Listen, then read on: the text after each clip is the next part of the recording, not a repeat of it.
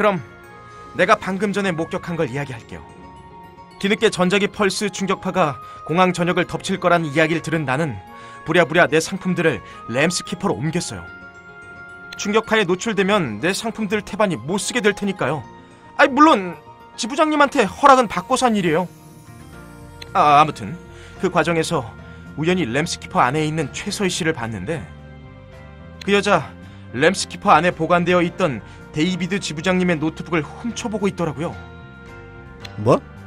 형의 노트북을 말이야? 그뿐만이 아니에요. 나중에는 램스키퍼 안에 보관된 USB나 디스크는 물론 램스키퍼의 메인 컴퓨터에까지 손을 대는 것 같았어요. 말했다가 괜히 그 최서희 씨한테 트집을 잡힐 것 같아서 지금까지는 잠자코 있었는데 아이 그 그래도 일단은 보고를 하는 게 맞을 것 같아서 보고를 하는 거예요. 내 개인적으로는 되도록 그녀를 믿어주고 싶은데 말이지. 아, 이러면 더 이상 커버를 쳐줄 수가 없겠군. 아, 어, 어, 어쨌든 난 내가 본 걸 다 얘기했어요.